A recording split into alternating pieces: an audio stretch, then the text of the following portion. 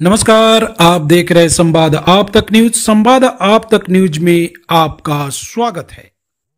तीज, जी हाँ सुहागन स्त्रियों के लिए विशेष महत्व वाला व्रत है। इस दिन का इंतज़ार महिलाओं द्वारा बड़ी बेसब्री के साथ किया जाता है।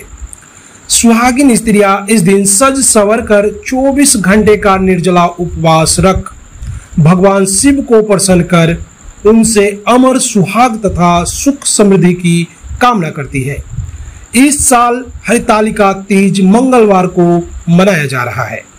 ऐसी मान्यता है कि इस व्रत में नए परिधान एवं साज सज्जा का विशेष महत्व है।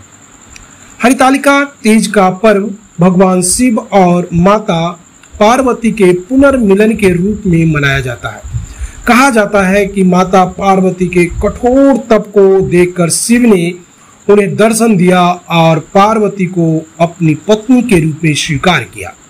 तभी से योग बर और पति की लंबी आयु के लिए हरिताल का तीज का व्रत बिहार तथा अन्य प्रदेशों में सुहागिन महिलाओं द्वारा बड़ी ही श्रद्धा और भक्ति के साथ मनाया जाता है।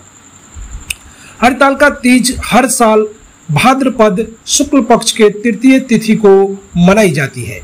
इस साल हरितालिका तीज का व्रत 30 अगस्त मंगलवार को मनाया जा रहा है। हरितालिका तीज का व्रत बड़ा ही कठिन नियमों वाला है।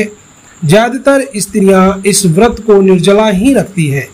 सुहागिनी कठोर तप और पूजन से भगवान शिव को प्रसन्न करके अमर सुहाग का वरदान मांगती है। हरितालिका तीज पर की गई पूजा उपासना से उनकी हर मनोकामना पूरी हो जाती है। शास्त्र के जानकारों का मानना है कि इस व्रत में पूजन सामग्री की विशेष महत्व होती है। कुछ चीज़ें के बगैर तो यह व्रत बिल्कुल ही अधूरा माना जाता है। इसलिए व्रत से पहले इन सामग्रियों का इंतज़ाम आवश्यक है। हरिताल का तीज की पूजा में कुछ खास चीज़ों का होना बहुत ही ज़रूरी माना जाता है।